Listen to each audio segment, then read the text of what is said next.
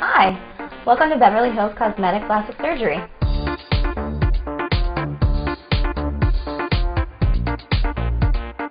I'm going to be having liposuction today. It's of a couple different areas. I've always had kind of larger arms, so he's going to liposuction back here and kind of around my waist and the lovely love handle area and kind of around my outer thighs a little bit. So it's kind of to contour those areas where I have a little bit more padding.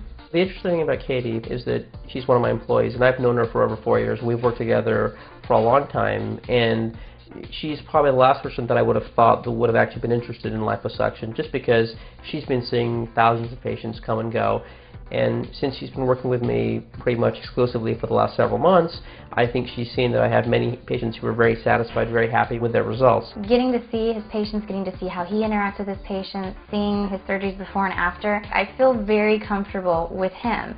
I mean, it is a very private surgery, and it is very kind of intimate because you're, you're, you know, you've got to have that trust, you've got to have that bond. I liked it because I've had the opportunity to be around him for years, and and I've seen him in the operating room, I've seen him with his patients before and after, so I'm comfortable with him being my doctor, very much so.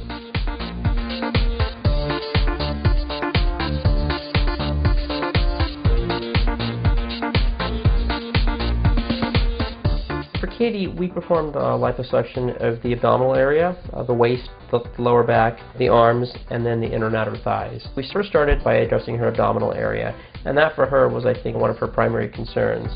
We initially did that, and then when we addressed sort of the flanks or the love handle area and the lower back, we actually turned her completely on her side so we could really get to her lower back, really give her some semblance of a waist and somewhat of a shape. That takes a little longer, but I think is really an important thing for any patient who wants to really address this area well. And it also allows us to kind of see how the skin sits, how the tissues fall, because when they're laying flat, I mean, you can be fooled. And when I do liposuction, I take it very seriously, and I want to make sure that we're seeing everything from all true angles that would be sort of replicated when someone is standing up. You can see we've kind of given her an arch to her lower back, and then it transitions into the buttock area. And you know that's, that's what a lot of women want. In her case, because we were doing multiple areas, some areas that were a little more difficult than others in terms of the fat being of more fibrous, thicker quality, we thought we, would use a power-assisted liposuction approach. With the power-assisted cannula, the actual machine provides uh, vibrations for the, the cannula, so it actually mechanically breaks out the fat. And in terms of end results, I think they're better because there's less surgeon fatigue. It's much easier to extract fat in difficult areas, and it also minimizes bruising because there's less in and out with a cannula. With one pass, you could more efficiently extract more fat cells than with a non-power assisted cannula.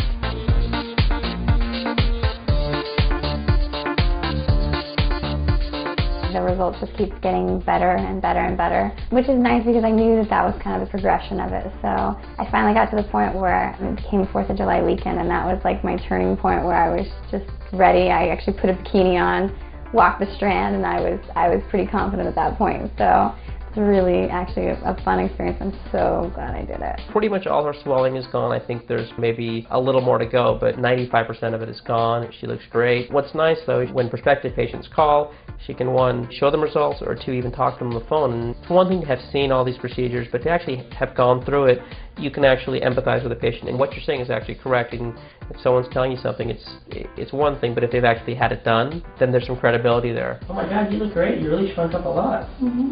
I would definitely do it again. I, I have no hesitation saying that. Even though there's pain afterwards, even though I went through my time where I was swollen, I would easily do this again just because I feel so much more comfortable now. And looking back, I kind of almost wish that maybe I would have thought about doing it sooner. Dramatically, there's a huge change in my clothing. Dramatically, there's a huge change when I put on a swimsuit. And I feel it as well, like even just the way that my body feels right now. It's a lot tighter. I don't have those little insecurities. Like even like, for example, when I bend over, I don't have that bunch on the side where we usually sometimes have like that little love handle after the surgery was done, I had so many people ask me how much weight I had lost and what I was doing. And, and out of nowhere, people were like, oh, you look really good. I've always been pretty social and I've always kind of had like a confidence behind me. Now it's kind of like a little little boost there. It reassures me that again, I, I don't I don't sit a certain way. I don't have the pillow sitting on my stomach. I don't, you know, do certain things like that now. Now I'm pretty comfortable just being me.